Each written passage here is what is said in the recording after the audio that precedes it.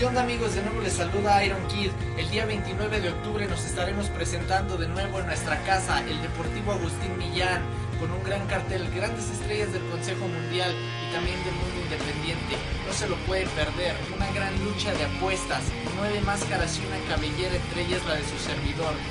Muchos han estado hablando en redes sociales acerca de la desventaja que tengo en esa lucha, pues al ser el, luchador con menos tonelaje y por supuesto pues también eh, dentro de los de menos experiencia. Pero una cosa les aseguro, voy a dar lo mejor de mí me voy a entregar al 100% como lo hago en todas y cada una de mis luchas.